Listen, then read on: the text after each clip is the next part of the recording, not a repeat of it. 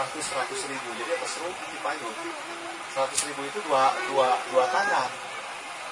Tinggal dua dari katanya lo mayar ojek mah nah, insya Allah lah boleh udah aspal juga kia masih dalam satu keyakinan masyarakat masih bisa. Tapi insya Allah hal-hal yang lain tadi tadi itu ADD itu memungkinkan untuk infrastruktur diperbaiki apalagi yang 7 kilo. Tong diantar ting batuan gula nanti kita dalam program lingkungan bisa saja membantu pengaspalan. Tapi juga harus lewat musrenbang kalau sekarang mah Pak Ibu.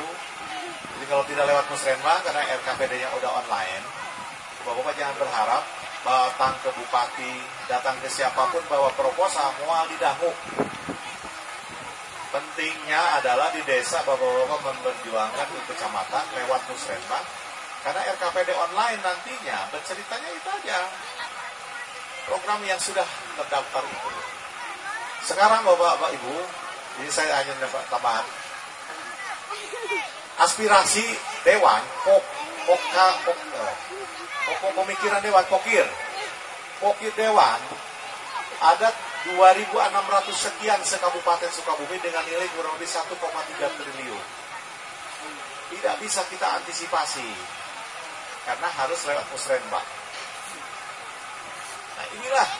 Kita sudah sampaikan bahwa semua aspirasi-aspirasi dewan untuk kepentingan masyarakat coba lewat musrenbang. Anggota dewan itu pernah di luar musrenbang, Pak. Itu yang paling beratnya. Kalau dia mengawal misalnya di wilayah di dia itu menunjukkan kan ayah dulu abian keropan bukan orang Ciwaru deh kenapa jalan kalau orang patut saya ingatkan lah ya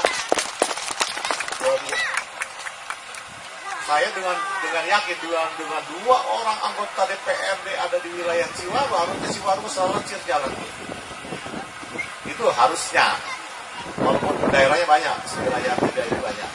Tapi kelima daerahnya itu sudah. Ingatkan aja oleh Bapak-Bapak Ibu, pokirnya tolong masukkan ke musrenbang. Jangan sampai hari ini dari pokir itu hanya 30% hari ini yang masuk di musrenbang dan terdata oleh kita. Dan nilainya fantastik, padahal anggaran kita terus dipotong oleh pemerintah pusat.